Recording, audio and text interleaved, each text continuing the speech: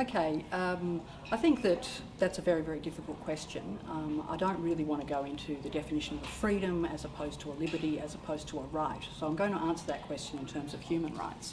Uh, we've had a lot of debate in this country recently about the importance of freedom of speech, and that's absolutely correct. There is um, great importance to freedom of speech, but I'm not convinced that freedom of speech is necessarily um, you know, more important, for example, than freedom from torture or freedom from racial discrimination. I mean, I tend to um, adopt the idea that um, human rights are indivisible and equally important to each other. So um, that's, a, that's a fairly wet answer, but I think the, they're all very important.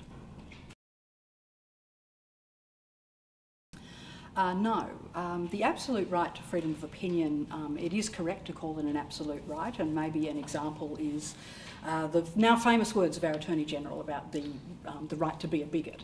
Um, simply being a bigot, I think, is, is having bigoted thoughts, and really there is freedom of thought, that anybody can think what they like, anybody can have whatever great thought or whatever horrible thought that they have in their head, um, and that is an absolute right. Um, but um, it's, uh, the right becomes more qualified once you begin to act on those opinions. So the right to act like a bigot is different to the right to be a bigot. And so freedom of expression is a much more active right as opposed to simply holding an opinion, which is a passive right. So um, international human rights law certainly, uh, certainly um, accepts that freedom of opinion um, is an absolute right, whereas freedom of expression does have some qualifications. Um, having said that, freedom of expression is extremely important, but um, everybody accepts there are some limits, and there are limits in every country. You know, things like, um, well, um, hate speech law, contempt of court, official secrets acts, copyright law, all sorts of, um, uh, you know, every country, even the United States, which has the strongest free speech laws in the world, um, even the United States accepts that there are some limits to freedom of speech. Okay, uh, well, at the moment the law prohibits um, uh, the um, acts, and that includes um, uh, saying, saying things in public which offend or insult or humiliate or intimidate another person on the basis of race, and that the act is done because of the race of the person. So it's not done accidentally, it's done, you know, kind of targeting the race, uh, the, the person because of their race. And the amendments would remove the prohibition on um, offend and insult and humiliate, um, it would uh, define intimidate to mean only fear of um, physical, um, physical, attack, physical harm as opposed to psychological harm.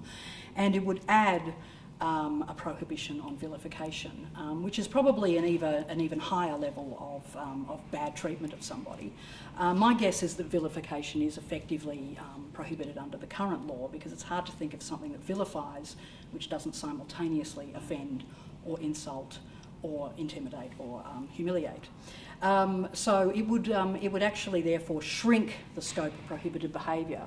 Um, and not only that, it would also include an extremely broad defence, um, a defence which um, applies probably to anything said in the media, anything said in an artistic performance, anything said by an academic, um, anything um, regardless of how unreasonable or how lacking in good faith. Because at the moment there is a free speech defence, but um, that defence only applies if the act is done reasonably or in good faith.